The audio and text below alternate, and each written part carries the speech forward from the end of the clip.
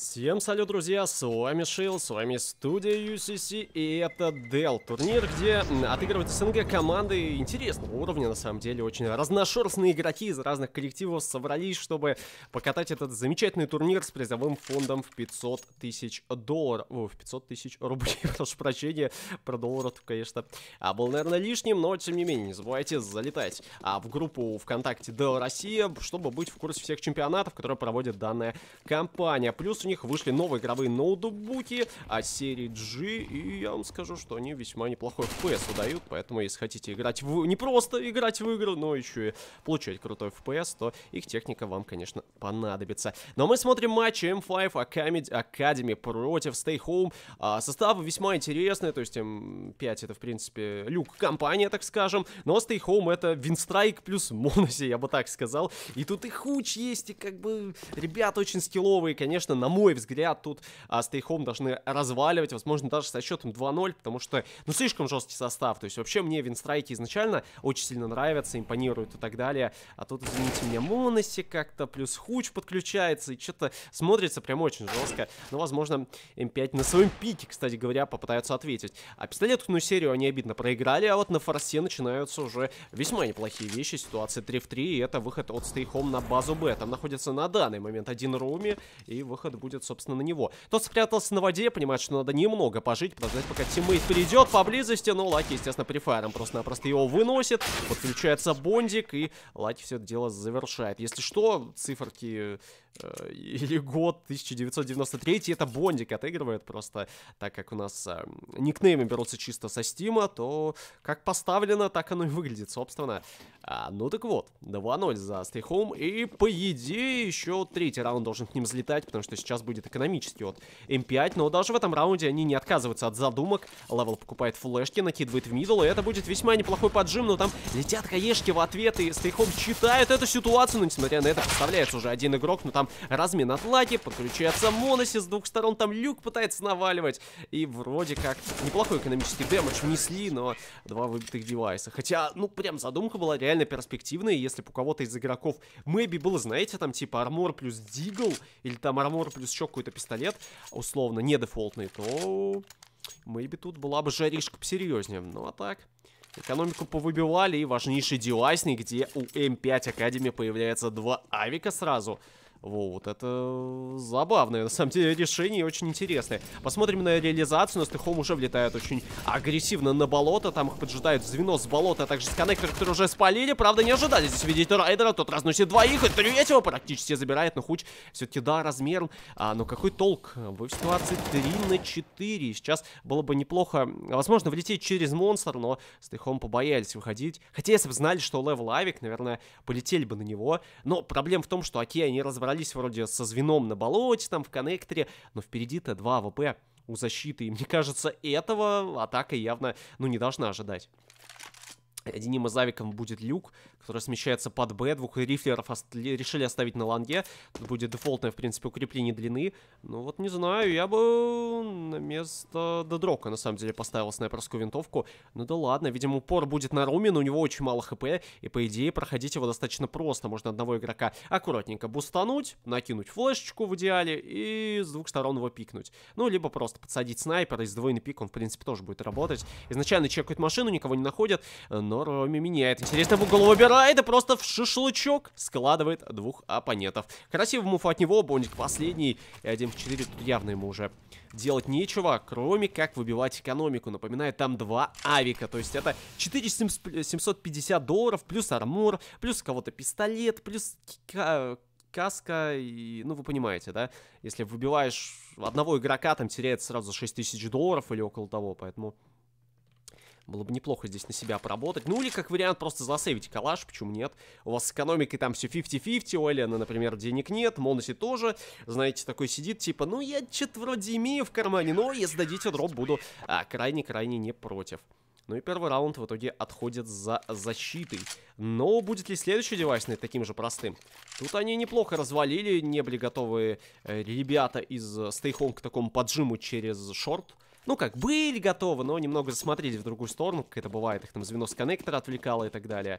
Сейчас будет отличная возможность у ребят все это дело нивелировать уже полностью, с полной боевой готовностью. И да, там уже летит игрок один в коннектор, будет отыгрывать там бондик, в принципе, по дефолту. Ну и стейхом решили подождать поджимов. Но вот читают ли они вторую снайперскую винтовку? Мне вот что интересно. То есть они по-любому видели то ли Люка, то ли Левела. Люка, скорее всего, на точке А. Я думаю, инф... хотя, погодите, Люк был все время на Сити, потом он стянулся на Стерс, насколько я помню, на последнем тайминге. И получается, да, инфы по двум авикам 100% нету стейхом.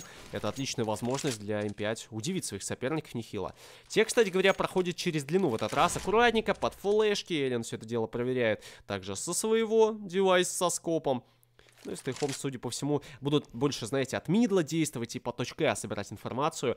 Коннектор, опять же, оставили не затронутым, соответственно, выхода на противоположный план ждать от них не стоит. Хоть чуть-чуть побавить это внимание, ну и направиться вместе с, со своей командой на верхний сайт. Видимо, тут главное бомбу не потерять, а то там бондик один находится. Мало ли, авик в мидле, мы все это понимаем, на позднем тайминге. Ну и вот, кстати говоря, три игрока на A-сайте, причем позиционка интересная. Люк будет байтить, и мне кажется, трех игроков, ну, по сути, сути, в одной и той же точке могут не ожидать. Они все около машины находятся, и позиции весьма неплохие. Но вот 20 секунд, как бы себя во временную петлю сейчас не задушить, понимая, это Стейхом начинает свой э, выход. Один игрок уже за сайтом, Лаки собрал информацию по Стырсу, вырубает позицию Дедрока, падает и еще и люк, но Роми остался не прочеканным. Это минус бомбы, возможно, минус всякую справить него, минус 2, третьего тоже вырубает один, а в итоге в1 остается против игрока на Стейрсе, он там 10 секунд, и есть размен, левел падает, возможно, это даже установка бомбы, да как?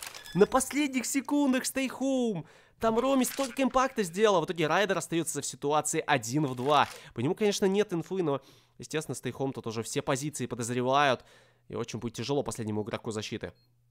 Отходит со Стейрса. Пока что остался незамеченным. Ему в идеале найти минус, конечно, и потом попытаться как-то э, закрыть условно игрока моликом, как-то раздефать. И он, видимо, попытается сразу задергать. Молик полетел, но открытие от Моноси хоронит полностью весь раунд. Квадрокилл от молодого таланта. И несмотря на усилия и такие потуги от Роми, боже ты мой.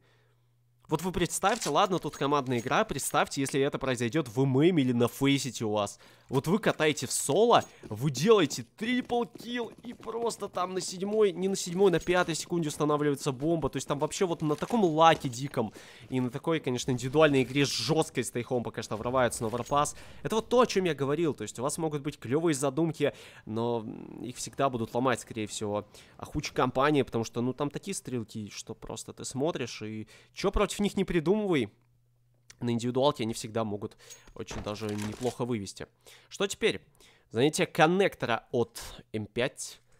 Пытаются воспользоваться контактными дистанциями, контактными позициями с дюзертыглами. Бондига вырубают, окей. Калаш, кстати говоря, может зацепить Роми, но он боится, что там еще один игрок. Ну и стейхом по этой информации. Скорее всего, думают, что больше игроков в коннекторе сразу проходит на длину. Там левел неплохо старается, байтит еще и на себя. Сейчас, возможно, Люк разменяет, но нет, Лаки пока что всех разносят.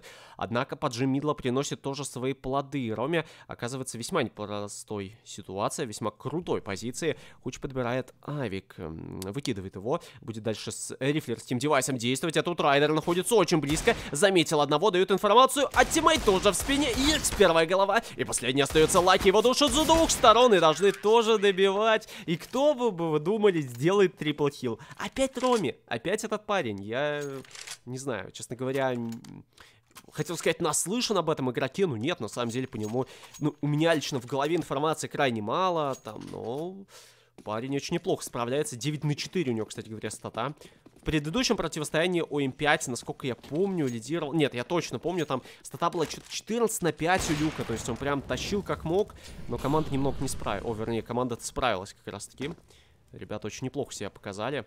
Ну, кстати говоря, аутсайдеры, условно, данного турнира, ну, данной группы как минимум, сейчас пробивается верхнюю сетку. Так-то, если что. То есть все думали, что верхние сетки будут кто у нас? Heart Legion и Team Unique. А в итоге тут залетел состав у Стейхом такой весьма жесткий. Залетели М5 горячие, просто где люк там разносится ВП нереально. И все, и, пожалуйста, уже верхняя сеточка. И победа дарует вам проход в плей-офф стадию, которая будет уже завтра, друзья. Будем работать мы уже в парах для вас, комментировать все это дело. Будет это со студии, соответственно, контент будет максимально интересным, поэтому если вам интересны какие-то игроки, команды, то я рекомендую вам, ну, во-первых, подписаться на группу Dell России, чтобы не пропускать их турниры, потому что ребята реально молодцы.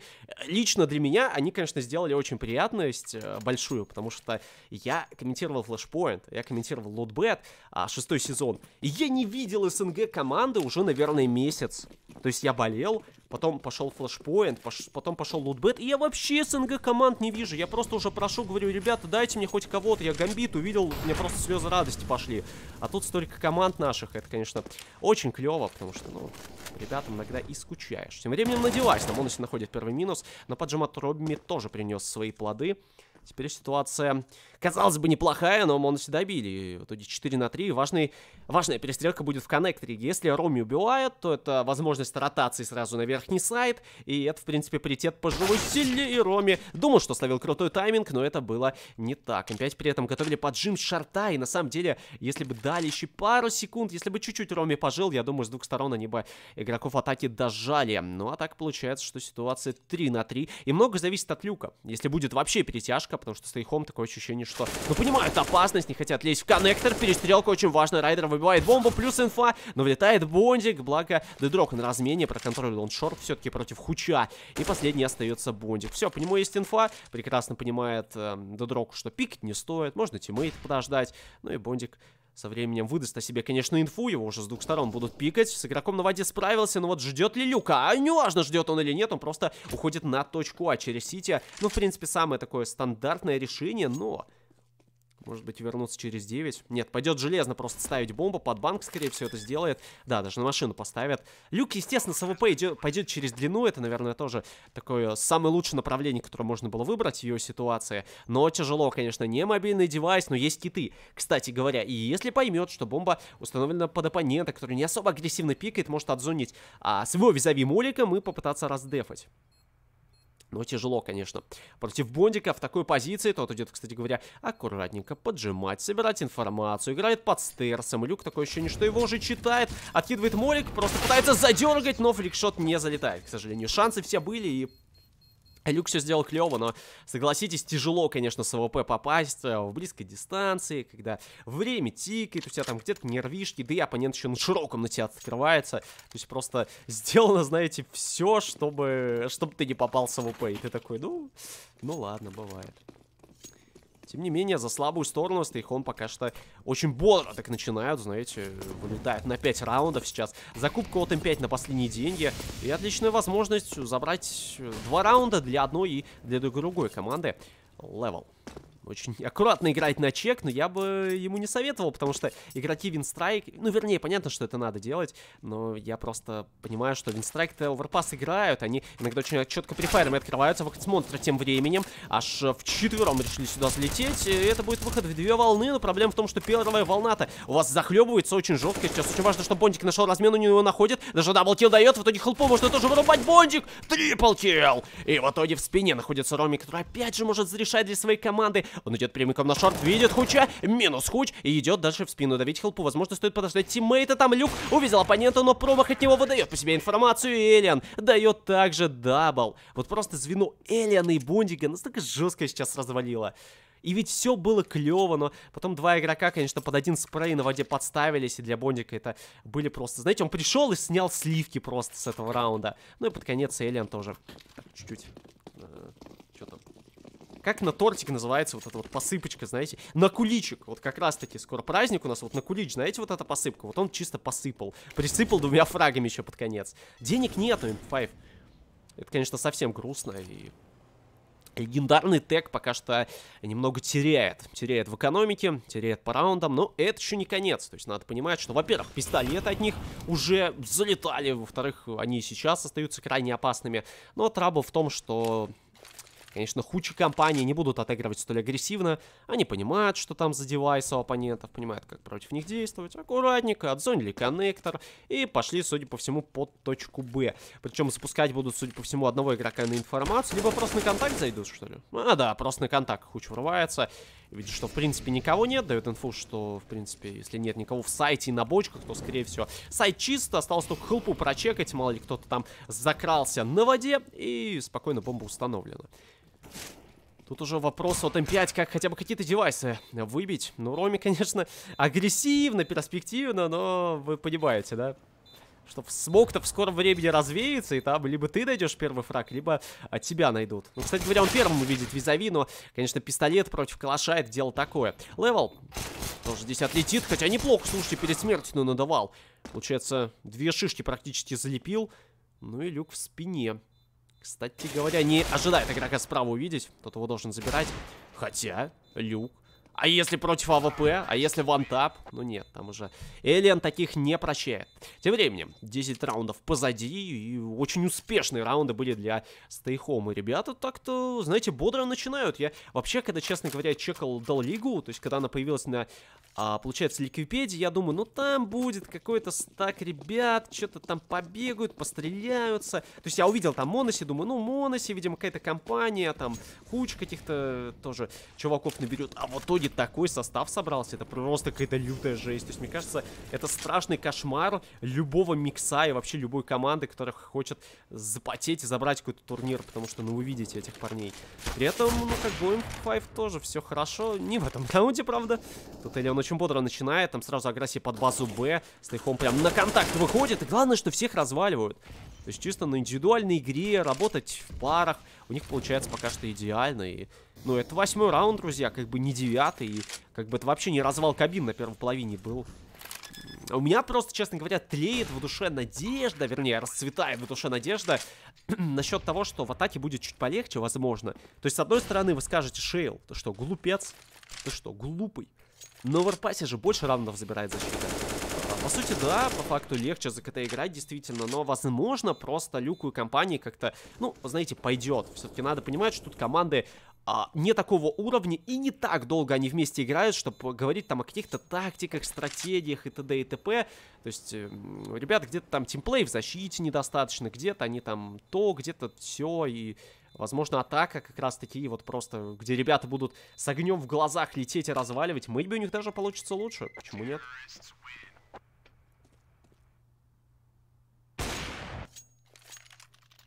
Так, ребят, ну вот про сливаем, не сливаемое, этого зря, конечно.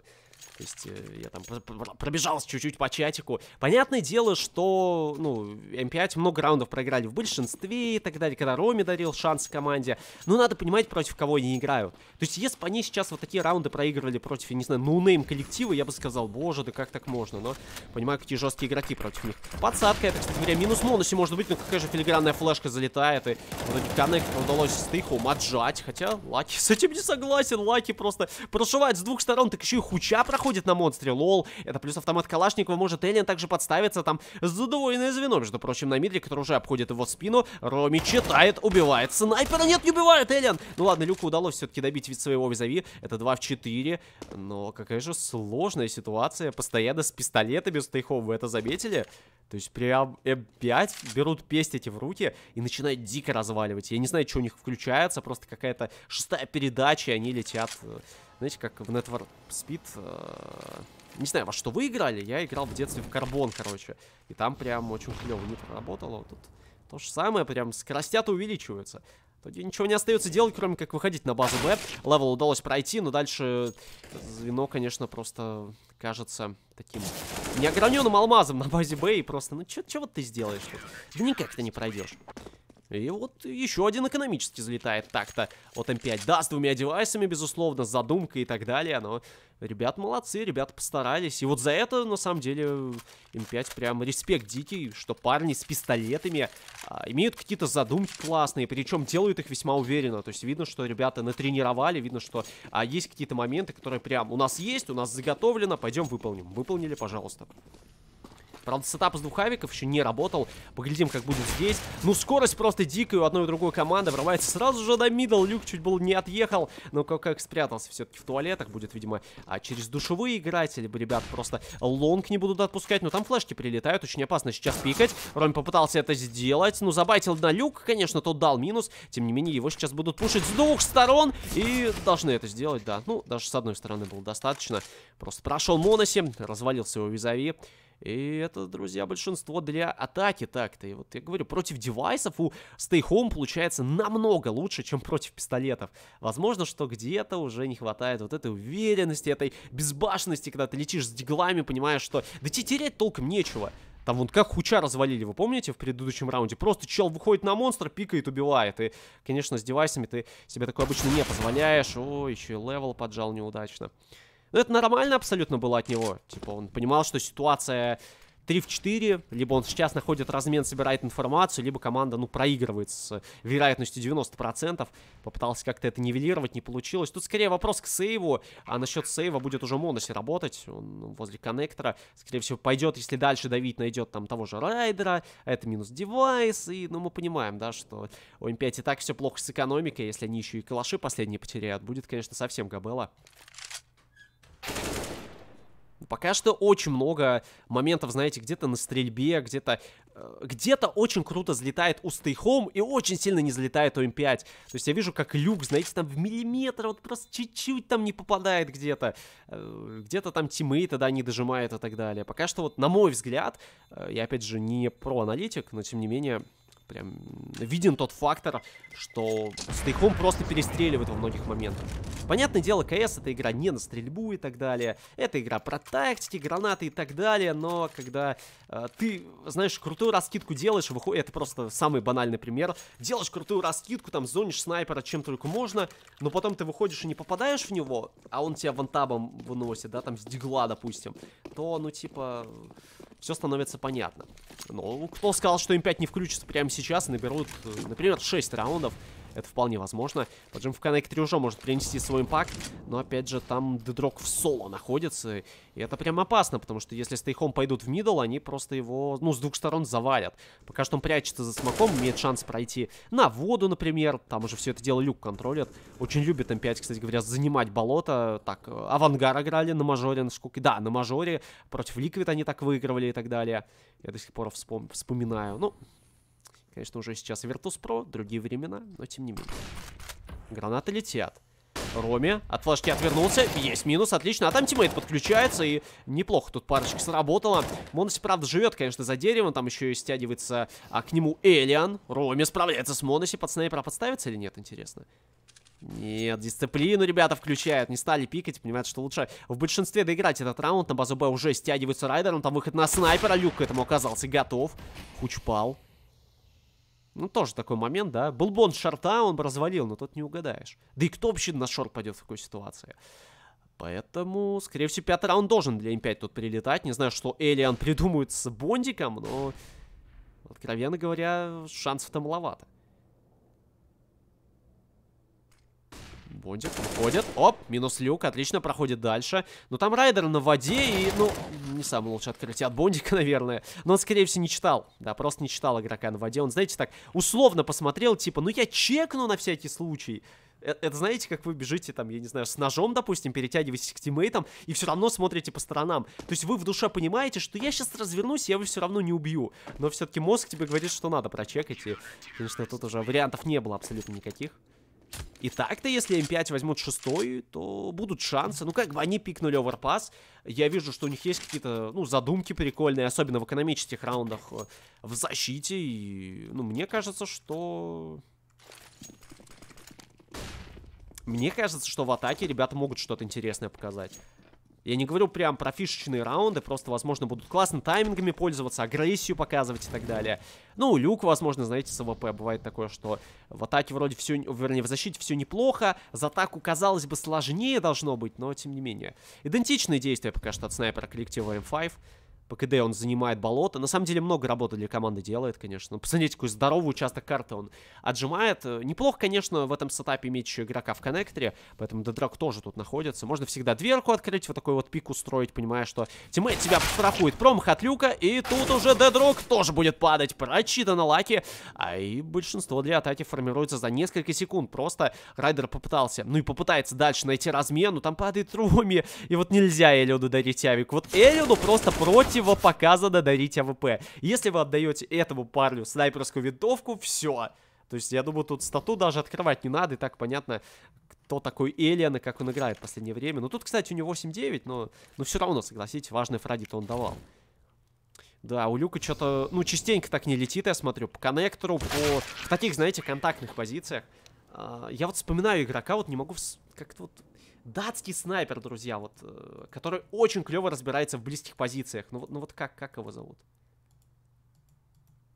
В общем, неважно. Есть снайперы, которые очень клево разбираются в близких позициях, допустим, а, как снайпер, про которого я забыл, к сожалению. Но при этом в дефолтных местах, знаете, когда надо просто открыться и попасть в стоячего, он ничего не может сделать, ну вот вообще ничего. А, при этом есть наоборот, как мы видим, у Люка какие-то сложные фраги, ну, не получаются. То есть там он выходит, оппонент на широком, и, понятное дело, ты, ну, сложно попасть, но это было несколько раз, где прям, ну, было видно, что оппоненты где-то его переигрывают, где-то он там в коннектор пикает, теряется, то есть видит двух игроков, и а, не добивает. Не знаю, возможно, давят вот индивидуальная игра какая-то от Stay Home, потому что я смотрел до этого матча, потом М5 прям разваливали, Люк по миражу бегал, стрелялся. Либо есть еще один варик, что просто карта посложнее. Типа Overpass это все-таки такая мапа. На Мираже понятно, что каждый снайпер может играть. Я не знаю, посади любого снайпера абсолютно, даже у которого на Мираже там официалах мало сыграно, я уверен, он раздаст. А тут как-то Overpass, вот это все вязко, углисто и так далее. Ну и Stay сразу отправляются в middle, поджимают длину, есть при этом один игрок а, прямиком на центре, это Бондик. Инфу, проблема в том, что они вроде что-то стоят, но инфы-то немного собирают, и прямо сейчас, если М5 побегут на базу Б, а они бегут на базу Б, то там один Лаки, и вот этот поджим в мидле, он у вас вообще не окупится. Лаки открывается, ну, damage есть, одного забирает, и проблема в том, что Б-то уже будет под контролем М5. У них есть два недефолтных пистолета теперь так-то. И попробуй все это делать ретейк, не особенно без китов. Два игрока будут действовать с хелпы, третий перетягивается к ним. С девятки также поработает Элиан, бандит на себя массу внимания, выход с хелпы. Удалось все-таки воду додушить, сейчас очень важно перестрелять здесь Роми, на чем может пол команды похоронить, но у него не залетает. ВД 150 вроде в руках, надо попадать, потому что тиммейтов сдавит с двух сторон. Есть прям минус, размен от Элиана плюс у Бондика. Последний игрок находится также на шарте, это люк, но у него глок всего лишь. И, конечно, это не чита Юспу, тоже здесь отваливается, и это раунд для Stay Home. Вот с пистолетной серией, конечно, Нельзя сейчас поканчивать. Я думаю, М5 надо форсить, надо пытаться перевернуть, потому что если отдадут 12 то там, ну, объективно говоря, мне кажется, с Тейхомом этот матч должны доигрывать, конечно. Райдер с калашом с армором. Первым, кстати говоря, что прям совсем грустно, потому что там ППшки, там Ауди на дальней дистанции, кольты, ну прям очень будет неприятно. При этом у Люка появляется скаут. Это парень знает, что делать с Мухи, я думаю, что-то может нам показать. Ну и поджим от Stay Home достаточно агрессивно играют в мидле, при этом собирается информация также с монстра. То есть ребята прям прессингуют карту с самого начала, читают агрессию на длине, судя по всему. Ну, Райдер, я думаю, просто камень займет и никуда высовываться особо не будет.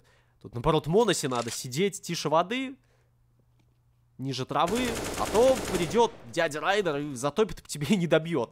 Страшная история, казалось бы, но с хэппи-эндом, судя по всему, для Моноси, потому что стягивается teammate, и Моноси доберет все-таки под этот bait от своего дружане Райдера, причем еще и назад отойдет. Оставили Лаки, конечно, одного под Б, но он собрал инфу по монстру, сказал, что там никого нет, поэтому может пока что и один постоять. Ну, М5 надо размены находить. У них все еще, все еще есть калаш в арсенале, есть Галил, подбирается скаут и свапнули с девайсами, видимо. Ну да, Люк с каской, поэтому ему лучше как раз-таки пойти на контакт стреляться.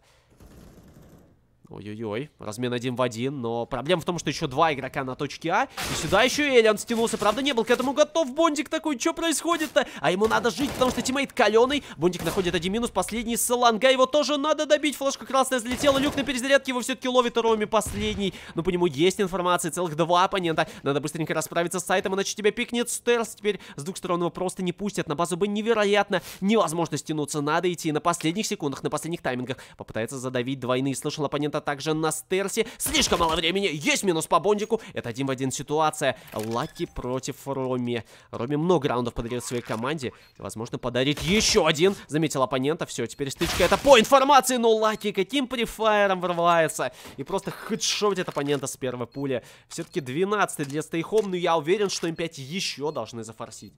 Боже, Роми, конечно, ну, насколько парень хороший, вот серьезно, 15 на 12. То есть, когда ты настреливаешь 15 на 12, там, я не знаю, против Бондика, против Лаки, Эля, ну, в общем-то, против э, вот такого вот состава, это, знаете, о чем-то явно говорит. О том, что парень прям, ну, знает, как играть. И может тащить команду вверх, правда, пока что этого совсем не хватает. И сейчас, конечно, вообще на микро-микро моменте, но переиграли стейхом. Очередной форс понимают, что можно переломить экономику. Прямо сейчас вернуться в этот матчап. Поджим в мидле. Неплохо для М5 сложился. Нашли положительный размен. Не приходилось, знаете, самим как-то там изобретать велосипед. Просто посидели, подождали и сами к тебе стейхом пришли. И Элиан неужели пойдет дальше? Ну, кстати, он приблизился уже. Вот тут у Райдера немного шансов, но он справляется. Благо, хедшот залетает. Но это прям было максимально опасно. Или, я не знаю, какие тайминги словил дикие, на самом деле. То есть, если бы он на секунду раньше вышел, он бы погиб. На секунду позже нам бы уже был готов э, Райдер. И, возможно, его даже накоцать бы не удалось. Роми тем временем очень агрессивно действует, играет на контакт, но собирает инфу, что под базой Б чисто. Но Хуч со Стерс, конечно, дает о себе знать. Минус имеется, Красный Райдер, при этом каленый Лаки Хуч. И есть действительно шанс у М5. Но прямо сейчас они идут на точку Асланга. И, судя по всему, Хуч, ну, не то чтобы поджидает, он просто собирает инфу. И шанс имеется у атаки прямо сейчас зайти в сайт, поставить бомбу, бондик на стяжке. Но, опять же, Крайне каленый хуч. Они сыграют вместе, чтобы максимально, видимо, забайтить на бондика здесь. Да, а нет, э, ним спреем закрывает все это дело Райдер. Хорошая работа, Лаки. В итоге в ситуации 1 на 2. И что, не пойдет даже? Китов нету. Да, друзья, это сейф от Лаки. И все-таки М5 удалось переломить эту экономику. Пистолетная серия нас не покидает, но это еще не конец. Вот это совсем-совсем не конец, друзья. Потому что сейчас лустрика нет, и стейхом, понятное дело, будут форсить в ответ. Поэтому М5 прям расслабляться точно нельзя, надо взять вот в кулаки что-нибудь, собрать, что там собирают в кулаки обычно, вот, вот то, что собирают в кулаки, надо собрать и показать, что мы еще готовы бороться, потому что легче явно не будет. Понятное дело, там девайс слабее и так далее, но... Извините меня, там такие игроки, которые с пистолетов залупить могут. Я думаю, Эллен какой-нибудь скаутик себе возьмет, почему нет? И так далее. Вы, кстати, заметили, что Бондик очень круто играет? Я не смотрел, честно говоря, последний матч Винстрайк, но я чекал статистику, и там Бондик прям ну, клево выделялся. Просто для меня он всегда был таким, знаете, типа игроком, который отыграет на третьем месте, на четвертом. То есть, который вроде клевый, но при этом там, ну, когда Хоббит у тебя там есть в команде и так далее, ну ты особо не можешь выделиться. А тут парень неплохо справляется. Роми, кстати, опять Елена наказывает в предыдущем раунде, по-моему, тоже он погиб. Пока не удается агрессировать стейхом. Ну, в этом раунде девайсы не совсем те. Лаки погибает в коннекторе. Но это какой-то день сурка, на самом деле, потому что э, идентичные действия, по сути, от э, защиты, которые были в предыдущем раунде. Только сейчас у вас по экономике все намного хуже. И... Да вы посмотрите, у Роми столько же хп осталось. Вы помните? Его э, в том раунде... А, его в том раунде Элиан как раз-таки поджимал, помните? И оставил примерно столько же хп. Это просто, ну...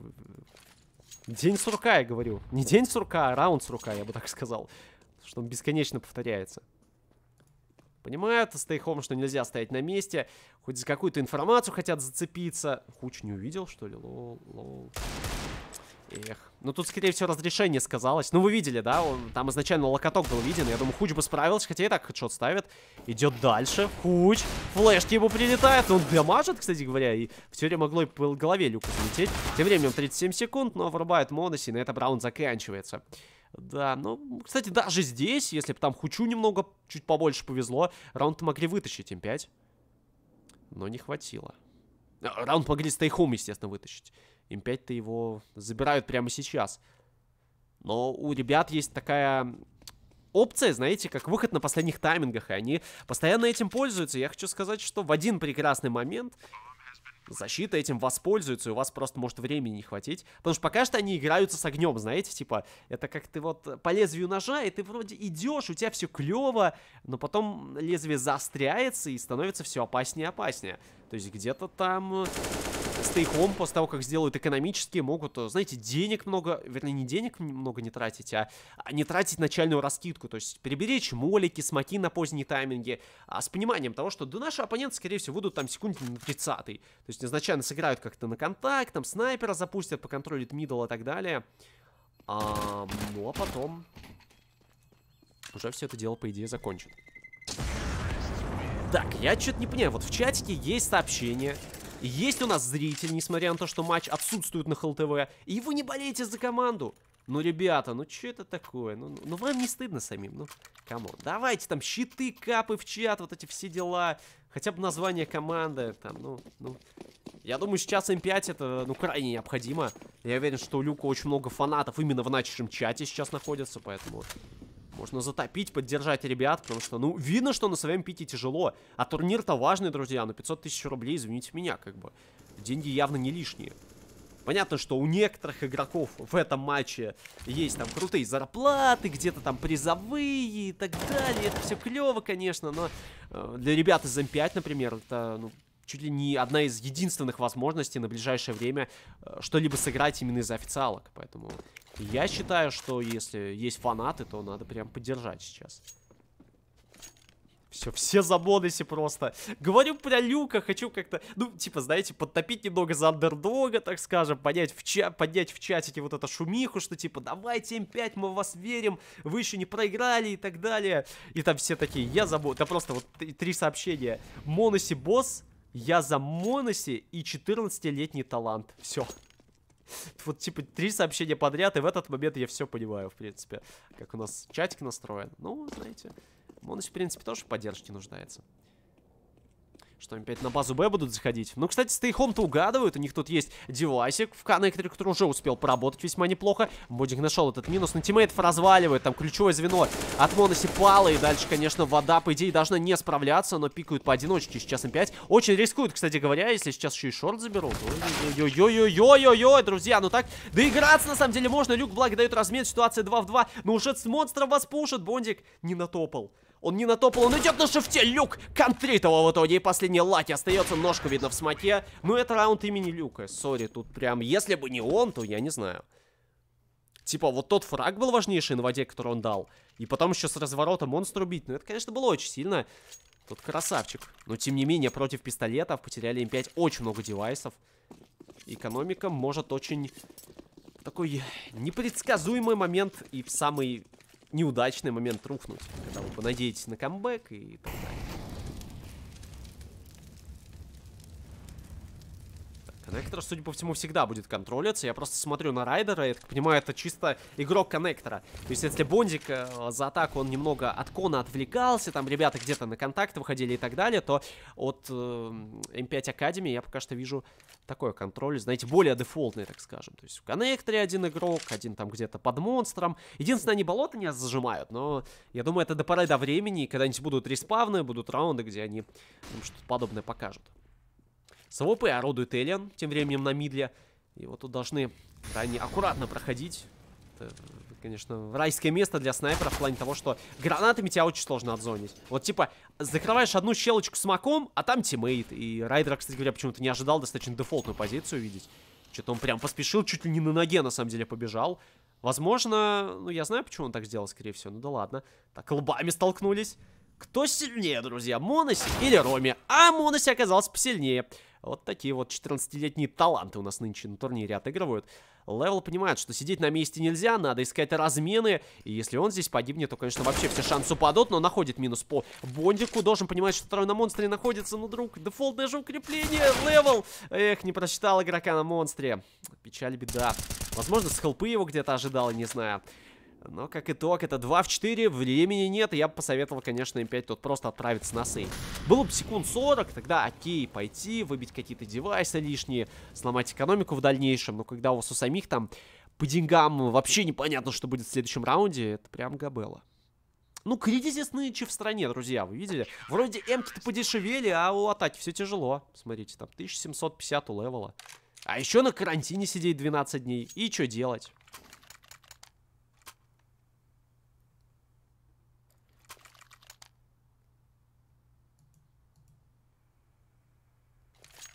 Сколько Элла у Люка? Там такие вопросы в чате забавные, на самом деле. Ну... Давай отвечу односложно. Много. Просто много.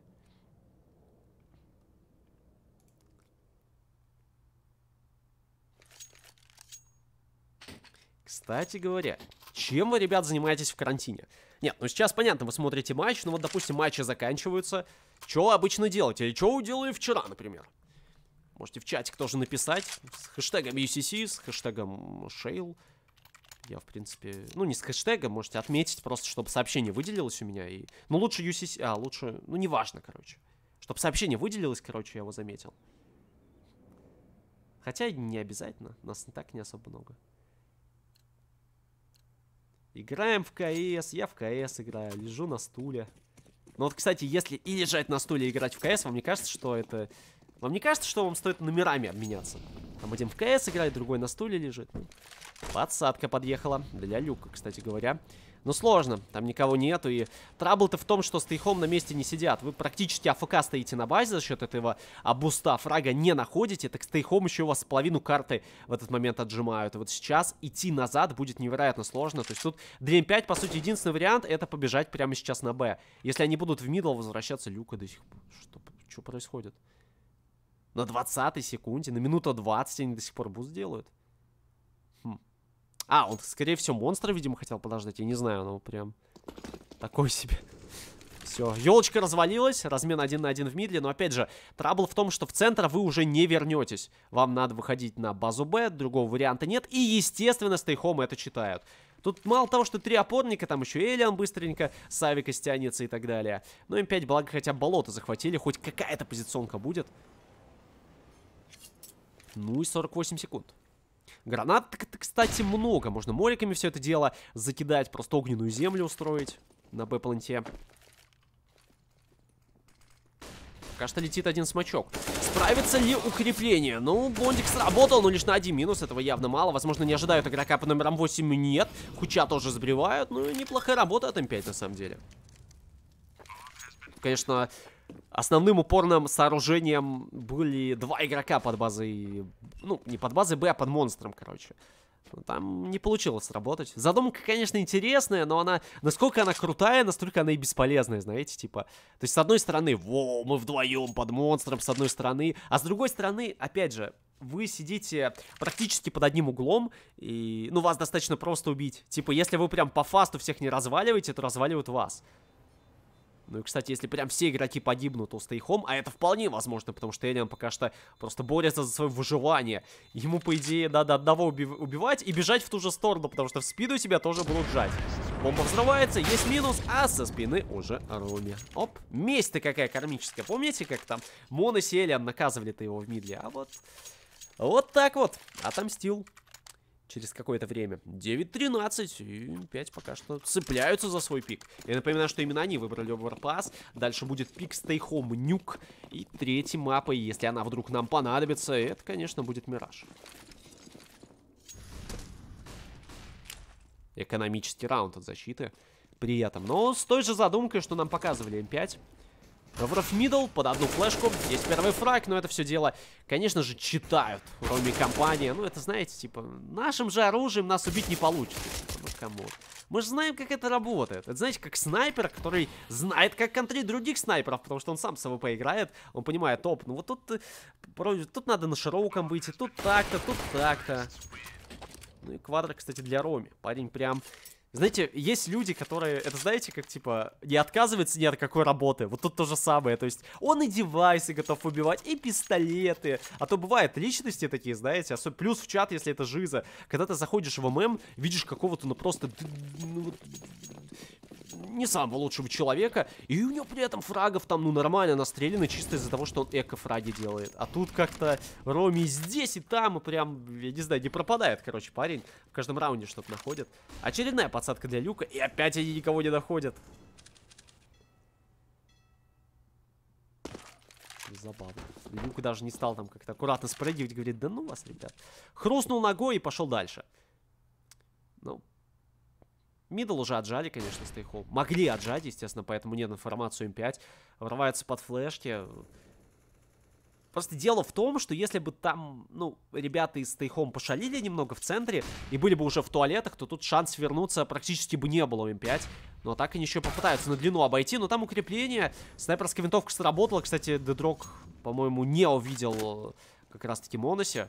Он был под идеальным углом. Попытка размена сразу с монстра. Левел понимает, что если найдет минус, это, возможно, выигранный раунд. Прилетает флешка, его пикают. Все, есть инфа теперь у Стейхом. И ребятам из М5 будет крайне в этом раунде тяжело.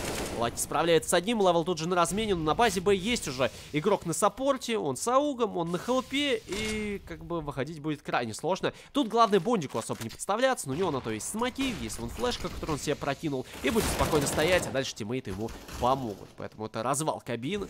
И, ой-ой-ой, хотя, хотя, погодите, с развалом кабин тут, возможно, есть игрок, который еще один раунд для команды потащит. С девяткой, между прочим, разобрался. Один в два теперь остается. Неужели пойдет давить? А он-то идет давить, а этого не ожидают стейхом. И по таймингу может заглянуть прямиком в тот э, временной отрезок, когда оппоненты будут смотреть в спину. Ну, ну нет. Ну не в спину, а на сайт. Эх, не успел просочиться. Денег теперь нету у М5, но при этом 15 раунд, естественно, отдавать никто не будет. Это должен быть стопроцентный форс. Причем есть авик, то есть это бай будет прям такой, знаете, ну, не самый плохой, я вам скажу. Тут и калаш, тут и АВП, тут и галил. И за это однозначно надо цепляться. Интересно, что Ztayhome будут делать. Мидл. Оп! Элиан. Ну, обидно, кстати. Мне кажется, мог убивать здесь. Ну, как бы очевидно, что мог, просто не довелся немного. Ладно, ничего страшного. Люк, я думаю, ему благодарен за это. Даже шляпу с него не сняли. Остался вместе с ней. Ну M5, опять же, очень любит через коннектор отыгрывать и вот возвращаться на мидл где-то с двух сторон. Это прикольная страта, мне лично нравится такое, но не всегда работает, особенно против АВП от Элиана, который как раз-таки поглядывает и на шарики, и на мидл, и на выход с коннектора. Плюс частенько там 3 плюс 2 отыгрывают Ztayhome, поэтому у них всегда есть игрок где-то на хелпе. Но на раннем тайминге постоянно Моноси где-то один, и его как раз-таки можно поймать. Он сейчас на длине, если одного игрока запустить, и второй просто пройдет слева, то Моноси вряд ли справится с таким сдвоенным пиком. Пока что решили запугать, видимо. Ну, в Моносе такой флешка, ну окей. Что дальше? Ага. Дальше у нас лагаути, видимо, видимо, будет, да? Um, так, одну секунду. Э. Да, друзья, возможно, это проблема с GoTV-шкой.